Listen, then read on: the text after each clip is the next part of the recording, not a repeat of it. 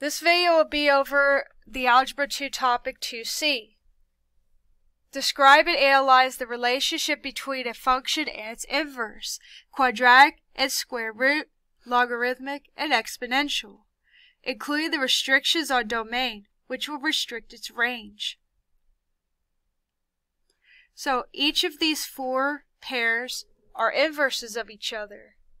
All you have to do on them is find the domain and range for each of them.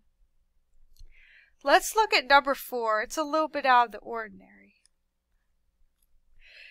Uh, this one will have a restricted domain and range because it would have restricted parameters for this quadratic since the rest of the domain and range would be negative f of x instead.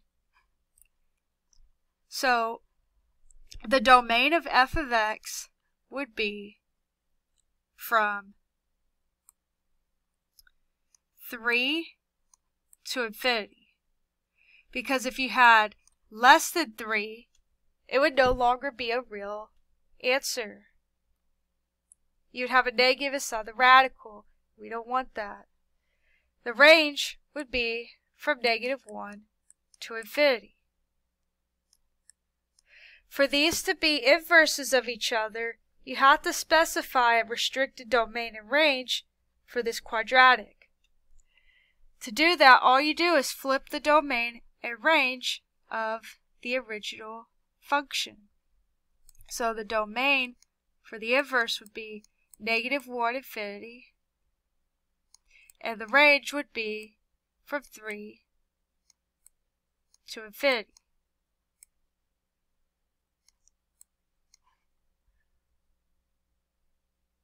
On this page, the rest of the domains and ranges should be all real numbers because those are all odd degree equations, functions. It's even functions that will have these restrictions.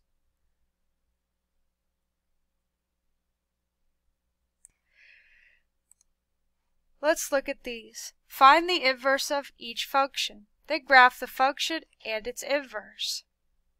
Let's look at number 7 and 8. So number 7 we have g of x equals parentheses x plus 2 to the fifth power minus 3. Well, let's go ahead and graph this. So have negative 2, 1, 2, 3. It'll look kind of like this if you were to put it in the calculator. Okay, so let's go ahead and find the inverse. So we'll say that x equals y plus 2 to the fifth power minus 3. You just switch the x to the y. That's the first step here. Then you to get y by itself, the new y, which was the old x. So we have x minus 3 equals parentheses y plus 2 to the fifth power.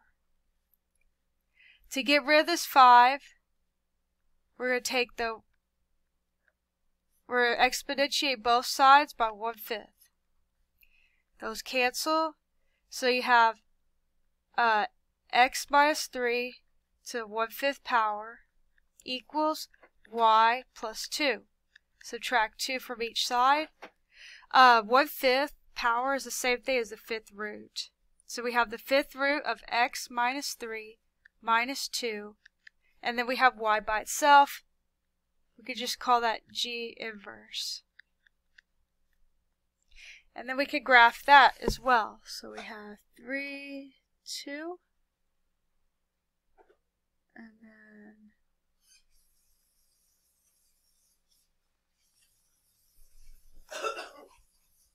and then it should be uh, symmetric with this line. I'll go ahead and graph it with Desmos to have a, a clear line here. Okay, here's what the graph should look like here.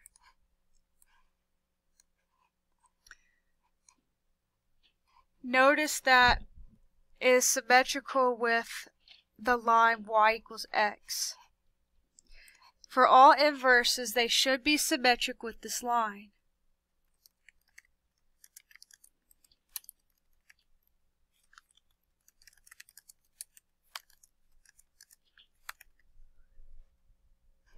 Alright, let's look at this one. We have f of x equals 1 over x plus 3 plus 2.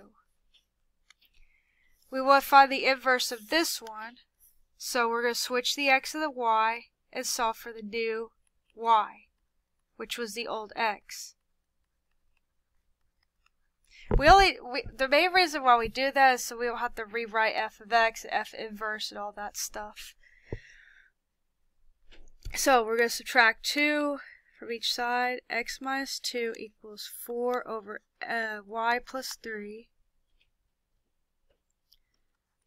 Uh, let's get the reciprocal of each side. So exponentiate by negative 1. So they have 1 over x minus 2 equals y plus 3 over 4.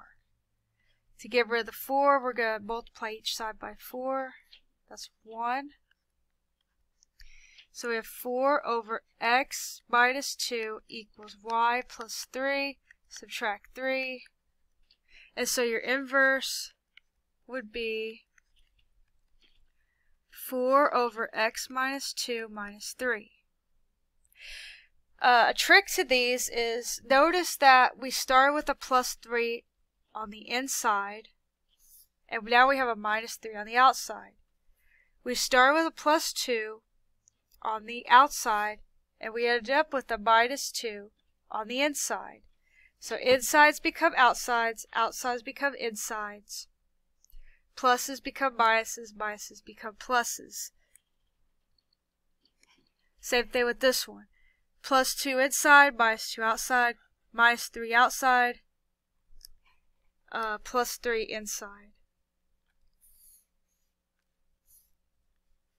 Also a way to check yourself.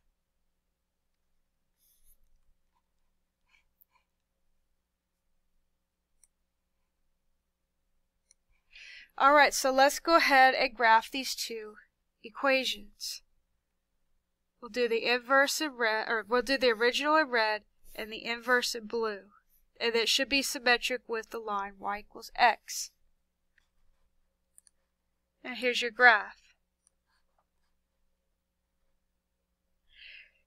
Go ahead try the rest of these problems for this page on your own and then check the key to this packet to check your work.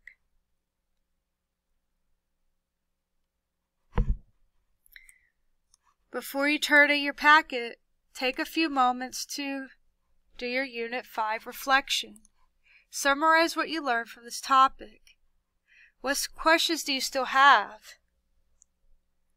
How are you studying in class? How you study outside class?